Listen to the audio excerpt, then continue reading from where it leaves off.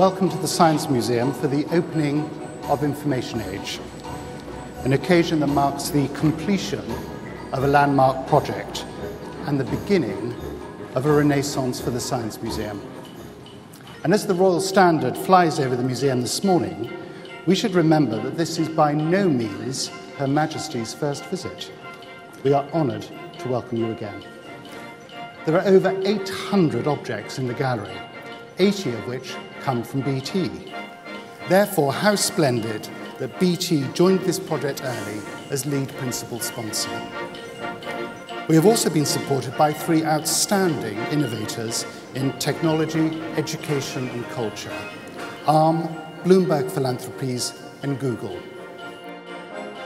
We have benefited from remarkable loans too, so we are delighted that our friends at CERN have sent us Tim Berners-Lee's NeXT Computer, Every museum in the world wants the first server for the World Wide Web, and it has found the right home.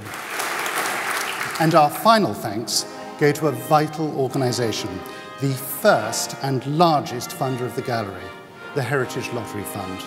The fund has long been a great ally of this museum, and I'm sure that we are going to do many more groundbreaking things together. I mentioned earlier that Queen Victoria took a great interest uh, in the telephone, and Your Majesty has followed in this fine tradition of embracing new technology. Uh, you made the first live Christmas broadcast in 1957, uh, and in 1976 you became the first monarch to send an email. So, um, Your Majesty, may I uh, invite you to uh, approach the tablet on the podium there, because uh, this morning, ladies and gentlemen, Her Majesty is going to send her first tweet.